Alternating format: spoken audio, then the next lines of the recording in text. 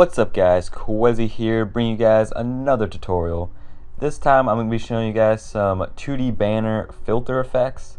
Um, so basically this is going to be used for uh, mainly 2D banners, you can use them for 3D banners, you can use them for wallpapers and a bunch of other things, you can use them for basically anything, uh, honestly. But um, yeah, so all you really need is Photoshop, you don't need anything special, and uh, the only way this will work like effectively is if you have some kind of cool uh, background to your banner. Uh, you don't need like a bar like I do here. This is just like part of the banner, but um, you just need some like cool thing like this here. Uh, if it has multiple colors, it looks best. If it has dark spots like here and light spots over here, it that's like when it looks good. But um, if it's just like a solid like green or something, um, most of these won't work very well. Uh, some of them will, a few. Um, but yeah, let's just get right into this. So um, first one I'm to be showing you, you want to merge everything um, so like it's on one layer like I do here. I don't have the bar merged because I don't want these effects on the bar. So I just have everything behind it. So I'm going to duplicate it. And this was actually in Evan Eckerd tutorial. Um, so uh, this goes to him. Uh, this is where I got this from. But you want to go to Filter, Pixelate, and mosaic. And then you want the square cell size on 20 then click OK. And then on that same layer uh, you want to go to filter and stylize and find edges. Then it should turn mainly white. And here you can uh, go to adjustments uh, where is it? Uh, I'm not really sure I don't do this but you can go to the adjustments panel somewhere um, okay, image adjustments and go to levels, and you can change the levels. Um, so um, if I drag this down, so they're more uh, like you can see the actual grid uh, lines. But for this, I don't like doing this because uh, well, you for certain banners you're gonna have to because you're not gonna be able to see anything. But in this one, there's a lot of light on this side, so it will work, and it just looks good, I think, in my opinion. But um, so I'm gonna do Control I to inverse it. Um, and then you can see there's more lines, so it's not just that like those few. And then you want to go to the um, um, what's it called? The settings. The ah, frick. I always know this before the tutorial, and when I'm in the tutorial, I forget it. But um, the setting of the layer. So we're gonna go to col color dodge. Um, that's really gonna bug me that I forgot that again, but um, whatever.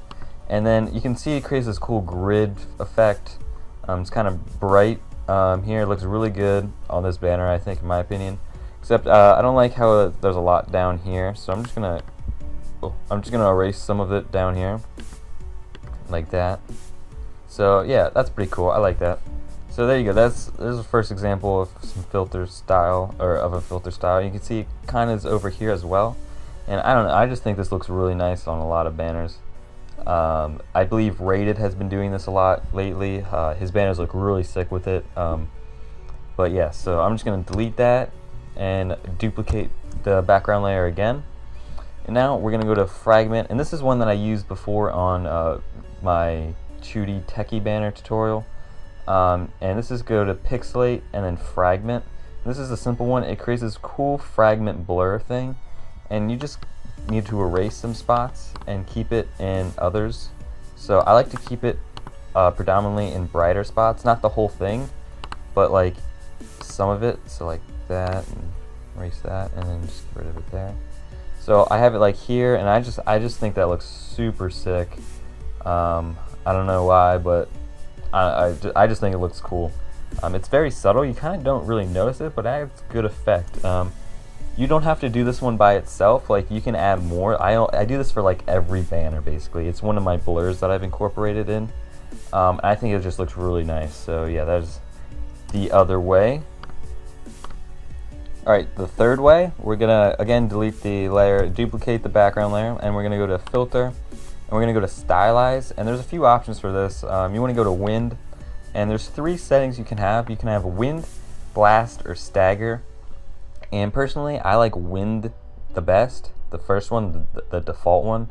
And you can pick which direction you want. I usually go right from left, or right to left, or yeah, right to left. Um, I think that looks better on a lot of things. And uh, I don't like things left to right because I don't know, stupid. Um, but I mean, it, would work, but I don't even know what I'm saying. This is retarded, but alright. So uh, the blast, uh, I feel like that's too overwhelming and it doesn't look good in many cases. And then the stagger, I don't think looks good. It's just kind of like a distort kind of thing. But the wind looks really nice, I think. So I'm going to go with that. Click OK. You can see it just kind of, I don't know, how, it just, it basically is wind. It's like wind is acting on the actual image itself. And you can see it looks really good in the bright spots, uh, like right there. Looks good. And then right there, I think it looks amazing. Um, I'm just to erase the darker spots because it kind of just blurs them out a bit. Um, so like there.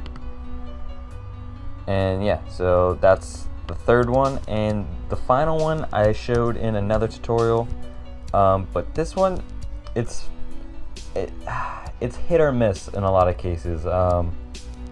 Some banners it'll look really good, some banners will look awful, and it really depends on your settings and how you get this to work. But we're gonna duplicate this banner or the background, and we're gonna go to Filter, um, Pixelate, Mosaic, and as you can see, um, just, you leave it on 20. As you can see, it's squared now, like they're in squares. But if I zoom out real quick, if I go to Control T, and I believe if I go to the angle, if I go to 45, oh no, that's not it.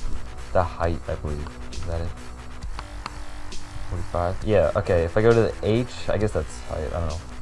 Horizontal, maybe? Yeah, horizontal. If I go to 45 there, hit enter. Hit enter again, I guess.